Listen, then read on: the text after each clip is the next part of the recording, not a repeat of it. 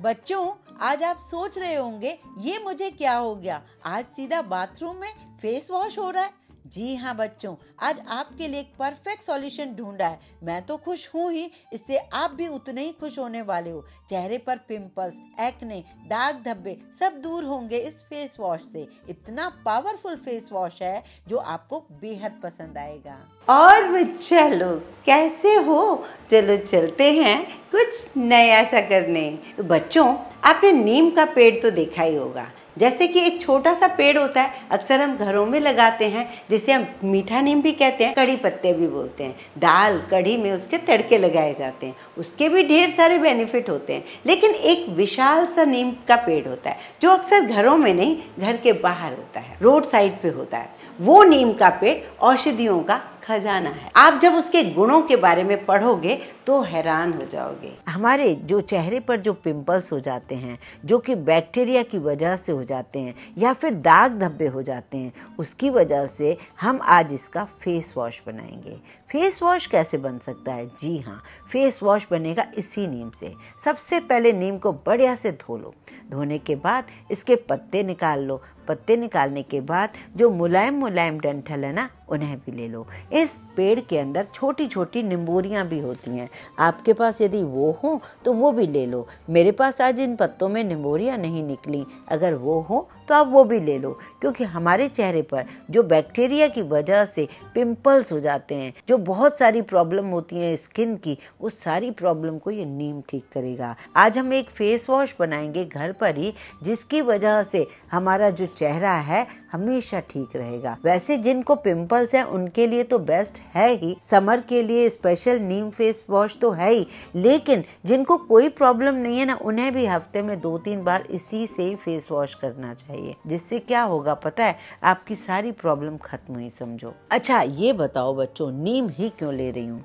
क्योंकि नीम में एंटी इन्फ्लामेटरी और एंटी बैक्टीरियल प्रॉपर्टीज़ होती हैं, जो एक्ने पिंपल्स को कम करने में मदद करती है। और एंटी फंगल प्रॉपर्टीज़ भी होती हैं स्किन को इन्फेक्शन से बचाती हैं। यही तो हमें चाहिए। अब इसके अलावा इसमें एंटीऑक्सीडेंट प्रॉपर्टीज़ भी होती हैं, जो स्किन को नरिश करने में काम करती है और त्वचा को ग्लोइंग बनाती है। पुराने जमाने में बच्चों, आपने नोटिस किया होगा, बहुत सारे डेंटिस्ट नहीं हुआ करते थे, क्योंकि लोगों को दांतों की प्रॉब्लम होती ही नहीं थी। पता है क्यों?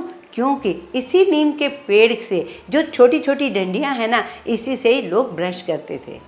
जिसकी वजह से दांतों में बैक्टीरिया पनपते ही नहीं थे। बैक्टीरिया नहीं पनपते थे तो दांतों की कोई प्रॉब्लम ही नहीं होती थी। तो इसलिए मैंने यही चुना। अब इसे हमें क्या करना होगा बच्चों? इसको हमें मिक्सी में डालकर ग्राइंड करना होगा। ज़रूरत लगे तो आप पानी डालिए। वैसे कोशिश कीजिए इसे पीसते वक्त गुलाब जल रोज़ वाटर यूज़ कीजिए। आपको पता है ना रोज़ वाटर हमारी स्किन के लिए बहुत बेस्ट काम करता है। गुलाब जल एक नेचुरल टोनर है, जो स्किन के लिए फ़ायदेमंद होता है। गर्मियों में स्किन की समस्याओं को दूर करने में गुलाब जल बेहतरीन टॉनिक है। गुलाब जल स्किन को मॉइस्चराइज करता है और स्किन पर होने वाली जलन को भी कम करता है, कुल मिला के स्किन का पोषण करता है। तो आपको जितना ऐसे पीसने में लगे ना, आप गुलाब जल डाल दीजिए। मिक्सी पर डिपेंड करता है। कोई कोई मिक्सी में थोड़ा ज़्यादा डालना पड़ता है। नॉर्मल पानी ना डाल के आप गुलाब जल को डाल दीजिए। अब ग्राइंड करके इसे साफ़ छन्नी में पहले छान लीजिए। छानने के बाद हम इसमें डालेंगे एलोवेरा एक से दो टेबल स्पून आप इसमें एलोवेरा जेल डालिए। एलोवेरा जो यूज़ करेंगे, आप पेड़ वाला अभी इसमें यूज़ मत कीजिए। इसकी वजह क्या है कि कई बार उनको वो पेड़ वाला सबको सूट नहीं करता। लेकिन जो जेल फॉर्म में आता है, किसी भी कंपनी का, आप उसे यूज़ कर सकते हो। दूसरी बात, अगर पत्ती वाला हम डालेंगे तो कई बार हमारे चेहरे पर सूट न करने की वजह से हमें नुकसान भी कर देता है वो। तो एलोवेरा में एंटी बैक्टीरियल और एंटी फंगल गुण होते हैं जो मुहासे और रैशेस में होने वाली दिक्कतों से छुटकारा दिलाने में मदद करते हैं। इसमें एंटीऑक्सीडेंट भी होते हैं जो चेहरे पर आने वाली झुर्रियाँ और लाइनों को फाइन लाइन जो होती है ना, उन्हें भी ठीक करता है। और गर्मी के मौसम में सनबर्न से भी हमें बचाने का काम करता है। तो कुल मिला के आप समझ रहे हो ना, ये कितना बढ़िया हमारा फेस वॉश बन रहा है। चलिए बच्चों, अब इसमें हम डालते हैं वन टीस्पून हनी शहद डाल दीजिए। शहद अगर आपको सूट नहीं करती है चेहरे पर बिल्कुल भी तो आप स्किप कर सकते हो, कोई प्रॉब्लम नहीं। डैमेज स्किन जो हुई होती है, उसे रिपेयर करता है ये हनी और इससे कोलाजन बढ़ता है, त्वचा एक्सपोलिएट होती है। स्किन से एक्ने कम होता है। शहद त्वचा की सतह पर जमी गंदगी को दूर करने में फ़ायदेमंद होता है। इससे दाग धब्बे हल्के होते हैं। सनबर्न की दिक्कत में राहत मिलती है, त्वचा पर चमक नज़र आती है। वैसे अगर आपको सूट नहीं करती है तो इसे आपको लगा के नहीं रखना। बस इस फेस वॉश से आपको फेस धोना है तो शहद आपको इसमें नुकसान नहीं करेगी। ज़रूरत लगे अगर आपको थोड़ा और गुलाब जल डालकर भी आप इसे थोड़ा सा लाइट लिक्विड सा कर सकते हो। बारी आती है बच्चों, ये नीम फेस वॉश हमारा तैयार तो हो गया, लेकिन इसमें झाग कहाँ से आएगी?